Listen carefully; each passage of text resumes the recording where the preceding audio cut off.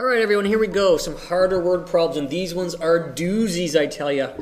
Okay. But even though these are tricky, um, have a go at them before we do them. So it's a good idea to just pause your, your screen, see if you can do them, see if you can start it off, um, and then we'll give you a few hints. Okay, so uh, the first one says, My father was 28 years old when I was born. If he is now three times as old as I am, find our present ages. So in doing this problem, there are two factors going on. One is Dad's age. right. oh, dad's age. So father's age. Okay, F. Nice. Father's age. And um, when I was born, me, my age. We'll call it an M. So when dad was bo- when I was born, dad is 28. So I know what kind of equation can I make up from there, Mr. Cole? Well, that, I guess that means the difference between your ages is 28 years, right? So when when you were F has to be the high, the bigger one. If I subtract 28, I'm going to get M, my age. So if I'm 0, he's 28. okay, yep. Or F minus M equals 28, how- I however you want to set it up. Right, I think that one makes more sense to me if I put it that way. If I Yeah. subtract them, because I actually, if I say my father's age minus my age, I know that difference is always 28, no Yep. matter what age I am. So if I'm 1, he's 29. If Yep. I'm 2, he's 30. Okay, so there's my first equation, two variables. If I have two variables, I need two equations. Want to guess how many equations I need if I have three variables? Three equations. If I have 100 variables, I need 100 equations. Really quite straightforward, but you have to make sure you get the equations. So that's the first piece of information. Second piece of information, is if he is now three times as old as I am, Okay. find our present ages. So what can I do for an equation for that? Well, I'd, I'd put F equals 3M. Right. So so my age then times by three, and I'm going to get my dad's age. Right. And when I make this equation up, here's what I think about. I, I always think about, well, I know right now F and M are not equal. I know F is the bigger because it's my dad. And so what do I have to multiply? I have to multiply me times 3 to make it bigger, to make it the mm. same as F. So I, because I sometimes forget where I multiply the 3 by. So here are my two equations. Uh oh, we've got a bit of lag going on again, hey? Oh, oh, oh.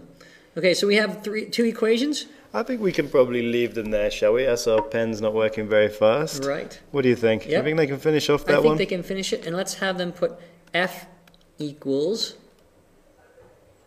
Okay, so there's only one space on the um, the Google Docs form. Right. So I think if, if you put in F, but on your sheet you should write down F and M. right, this is what I want you to put on your Google Doc, but you Right. guys should answer the Fine. question asked. Yeah, so just a number. Don't write F equals. Just put in the father's age. Right, just That's all you one need. here. Yep. Okay, sweet. Going to the next one. All right, so we have two rectangles, rectangle A and rectangle B. Let's draw them. Okay, here we go. Always a good idea. A, and here is rectangle B. They're not to scale. That doesn't matter. Nope, just we want relatively speaking where these values are. Rectangle A is 4 meters long than it is wide. So let's say that x equals the width of A. Okay? And if, if x is the width of A, then I know the length of A is going to be x plus 4, 4 more. All right, so this is x plus 4, and this is x, x plus 4, and x. If I go to rectangle B, uh, it's 3 meters wider than and twice as long as A. Okay. So Hmm. three times as wide is going to be just 3x, right? Right, because this is, And which one do we call the width? Yeah.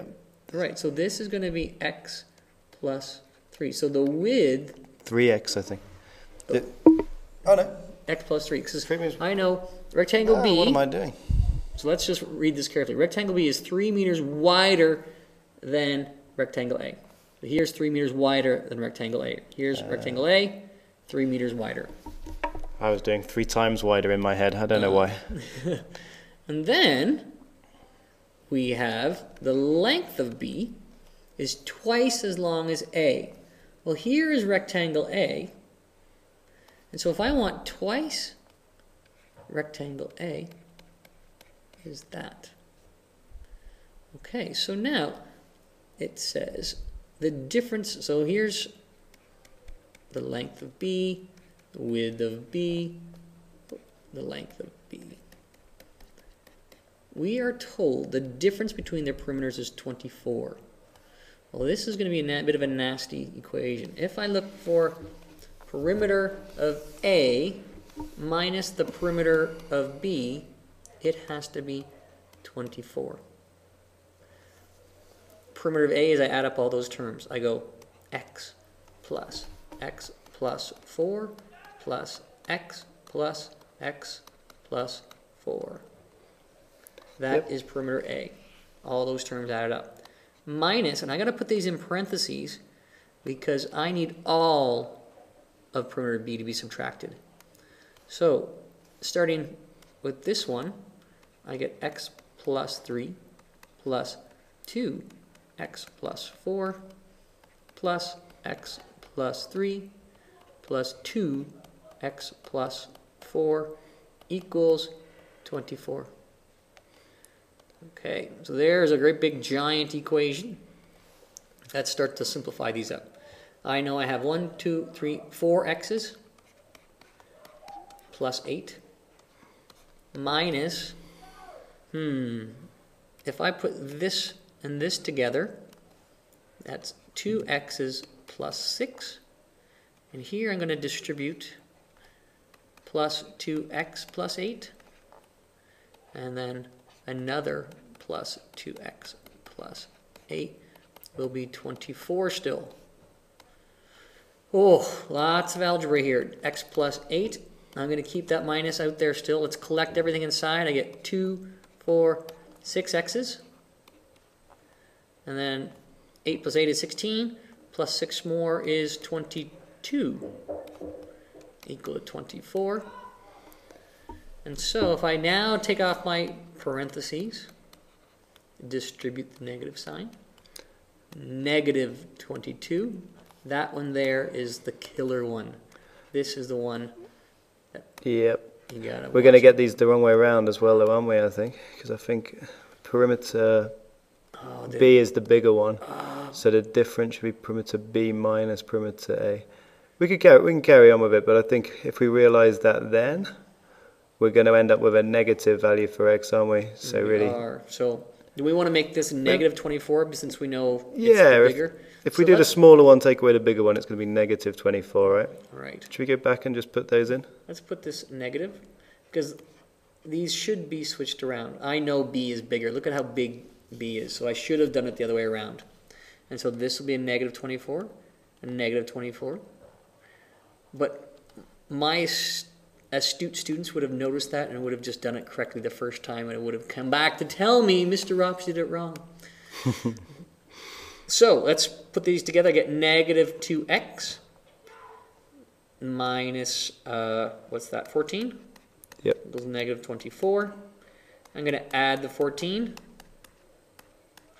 So negative 2x is negative 10. And so x equals positive 5 when I divide by 2. So there's my x equal to 5. And if we use what we have here, that means that my width is 5 of A. My length, I plug 5 in, is 9. My width for B, 5 plus 3 is 8.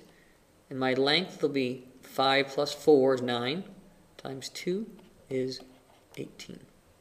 Okay, so all that's left to do in this question, then, um, we've already done the length of rectangle B, but we could leave you to find the area of rectangle A. And this is the answer we want you to put into your Google form. You put that into your form. Okay, continue along there. It's going to be a long one, isn't it? It is going to be a long one. Let's set, see if we can set this one up. All right, so we have the second of three numbers is four times the first number.